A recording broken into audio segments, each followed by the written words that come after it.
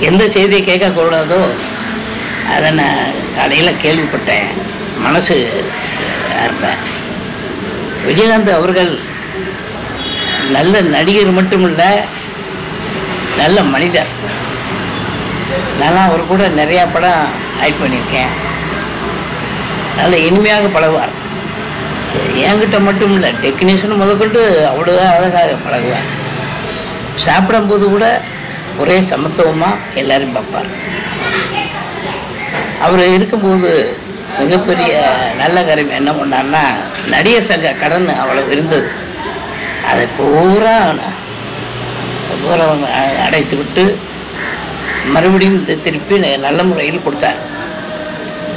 அதுக்கப்புறம் கலைஞருக்கு தங்க பேனா அது இது பெரிய விழாக்கள்லாம் வச்சு இது பண்ணார். அவர் கலைஞரோட விசுவாசி. இப்படி பல நன்மைகள் எல்லாருக்கும் செஞ்சுருக்காரு. அது சினிமாவில் சொல்ல போனோமா டெக்னிக்கல் பூரா விஜயகாந்த் படம்னா ஒரு குச்சியாக இருப்பாங்க அவ்வளோ அவர் இன்னைக்கு இறந்துட்டாங்க போது தான் ரொம்ப வருத்தமாக இருக்குது